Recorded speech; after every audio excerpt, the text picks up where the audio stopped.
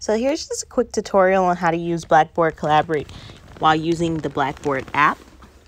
So you're going to click the app after downloading it and you're going to go to courses and then you're going to select the course that you're trying to use Blackboard Collaborate in. I'm just going to click a random course for instance. Um, and then you'll see this menu after selecting the course. Then you're going to choose Collaborate, Course Room, Join Room, and it'll take you to the Safari on your phone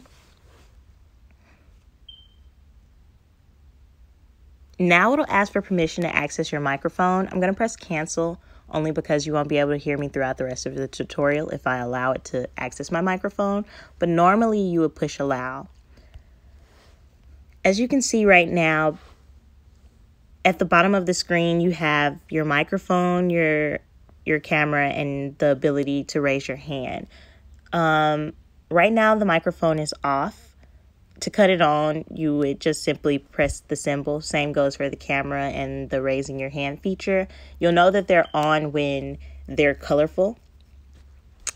If you don't want to cut your microphone on, you can always still chat just by typing a simple text um, by pressing the purple arrow, which lets this menu out, and then you can just type something and hit return in order for it to send you can also keep track of who is in the room by just simply moving over to the symbol where there are like two people. You can see who's talking.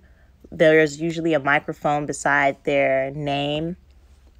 You can see whose camera is on. There's usually like a camera symbol beside their name too. Um,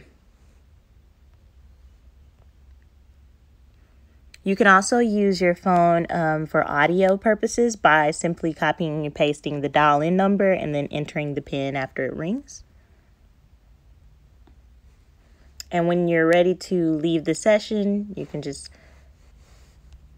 go up here and press the three lines and hit leave session.